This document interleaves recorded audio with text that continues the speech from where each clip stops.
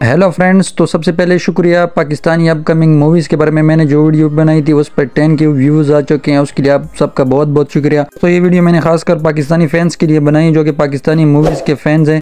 और फ्रेंड्स अगर आपने अभी तक मेरा चैनल सब्सक्राइब नहीं किया तो इसको ज़रूर सब्सक्राइब करें और वीडियो को एंड तक लाजमी देखें और कॉमेंट ज़रूर करें कि आपको वीडियो कैसी लगी। दोस्तों तो नंबर एक पर बात करेंगे। आसमान बोलेगा फ़िल्म के बारे में, जो कि खुदा के लिए डायरेक्टर शुएब मंसूर इसको डायरेक्ट करेंगे। इसके मोशन पोस्टर को देखकर ऑडियंस अब इसके ट्रेलर का इंतज़ार कर रहे हैं। इसके लीड रोल में अहमद इरफानी और माया अली दिखाई देने वाले हैं और इसकी कहानी बालाकोट एयर स्ट्राइक पर मुबनी है। ये मूवी नवंबर 2022 को रिलीज़ होना थी, लेकिन अब इसको पोस्टपोन कर दिया गया। ये फ़िल्म अब आपको 2023 में देखने को मिलेगी।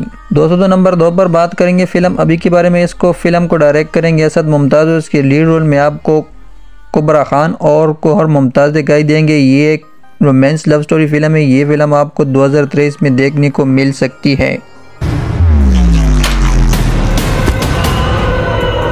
दोस्तों, अब बात करते हैं नंबर तीन पर upcoming Pakistani movie once upon a time in Karachi जिसको डायरेक्ट किया है अबू अली ने। ये एक एक्शन कॉमेडी फ़िल्म है, जिसके स्टार कास्ट में मोहसिन अब्बास, नौशीन शाह, मरहूम अहमद, बिलाल मारुख मिर्ज़ा दिखाई देने वाले हैं, जिसका बजट पाँच करोड़ पाँच लाख रुपए है। ये फ़िल्म 2023 में देखने को मिल सकती है आपको। दोस्तों नंबर चार पर बात करने वाले हैं हुमायूं सैयद की आने वाली फ़िल्म मुझे मार दो के बारे में। हुमायूं सैयद जवानी पर नहीं आनी टू के बाद दिखाई देंगे इस मूवी में, इसको डायरेक्ट करेंगे अरसलान खान और हुमायूं सैयद के साथ दिखाई देंगे आपको सरवत गिलानी। ये फ़िल्म सीरियल किलर के बारे में है। जो पुलिस ऑफिसर को मारता है और हुमायूं सैयद इसे बतौर पुलिस ऑफिसर रोकने की कोशिश करेंगे। तो ये फ़िल्म काफ़ी इंटरेस्टिंग होने वाली है। ये 2023 में देखने को मिल सकती है आपको। इसका बजट आठ करोड़ के करीब होगा। नंबर पाँच पर बात करेंगे एक पंजाबी कॉमेडी फ़िल्म शॉर्टकट के बारे में। इसको डायरेक्ट किया है अबू अलिया ने। इसके स्टार कास्ट में गौहर रशीद, सना फ़खर, जुगन काजिम और नसीम वेंग की शामिल है। दोस्तों, ये मूवी आपको तेईस दिसंबर 2022 को देखने को मिल सकती है।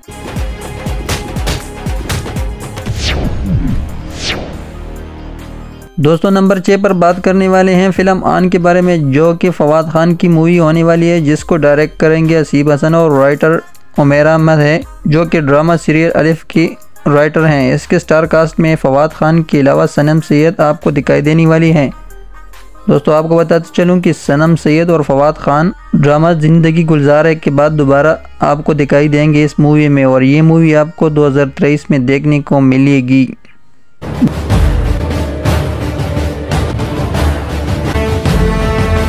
दोस्तों, नंबर सात पर बात करेंगे। कप्तान पाकिस्तानी आने वाली मूवी है, इसको डायरेक्ट किया है फैसल अमान खान ने। ये फ़िल्म पाकिस्तान के मशहूर खिलाड़ी सियासतदान ex prime minister of Pakistan Imran Khan पर मुबनी है। इसकी लीड रोल में सैयद इम्तियाज़ सोनिया जहाँ मोहिद्दीन अबरू, नवीद अकबर और उस्मान आलम दिखाई देंगी। ये फ़िल्म दोस्तों आपको 2023 में देखने को मिलेगी। नंबर आठ पर बात करने वाले हैं फ़िल्म दीबल के बारे में, जिसकी मेन लीड रोल में शामून अब्बासी यूसुफ बशीर शोएब खालिद दिखाई देंगे। ये एक एक्शन ड्रामा फ़िल्म है। इसका बजट दो करोड़ है और ये फ़िल्म दो हज़ार तेईस तक आ सकती है।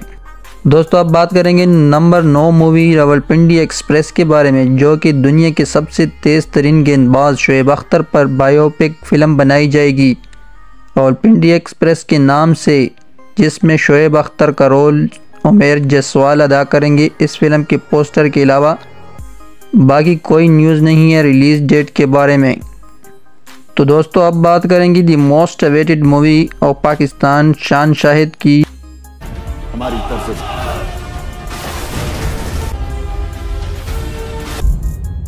वार की सीक्वल के बारे में जिसका पहला पार्ट 2013 में आपको देखने को मिला था और ये बॉक्स ऑफ़िस पर 35 करोड़ का कलेक्शन करने में कामयाब रही थी और हिट फ़िल्म साबित हुई थी। दोस्तों, ये एक बड़ी एक्शन थ्रिलर फ़िल्म होने वाली है। इसकी लीड रोल में शान अलीजे, नासिर, आगा हारिस, बिलाल अशरफ दिखाई देंगे। इसको डायरेक्ट करेंगे। हसन राना ये फ़िल्म आपको 2023 में देखने को मिलेगी।